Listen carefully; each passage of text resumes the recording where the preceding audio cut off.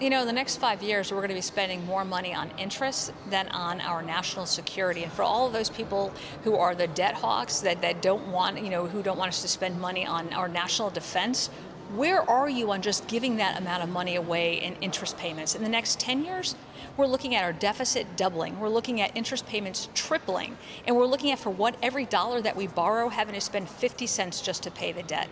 It is completely unsustainable. And when I brought up today to, to the Democrat witness, he seemed thrilled that we had $33.8 trillion in debt. He said that's not the problem. It's the tax cuts that are the problem. We both know that you know through TCJA that you saw some remarkable increases in revenue. You saw hundreds of thousands of people get brought out of poverty, and it actually helped the middle class, 70% of the middle class and the lower class the most. They're not getting it. They're not getting it at all. And yeah, is it is it uh, the the future?